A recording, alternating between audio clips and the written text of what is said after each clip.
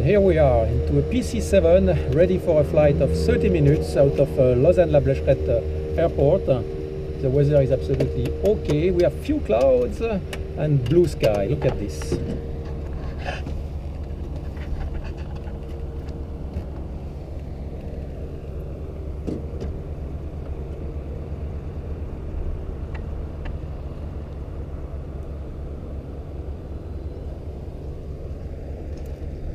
Alors, ça. Alors,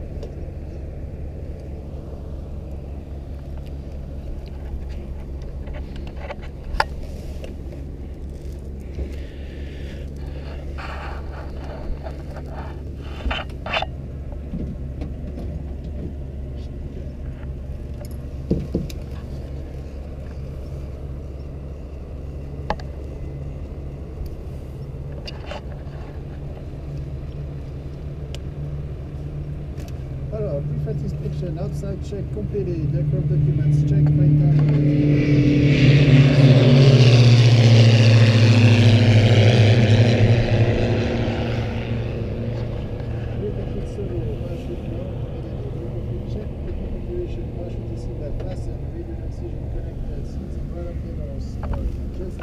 time.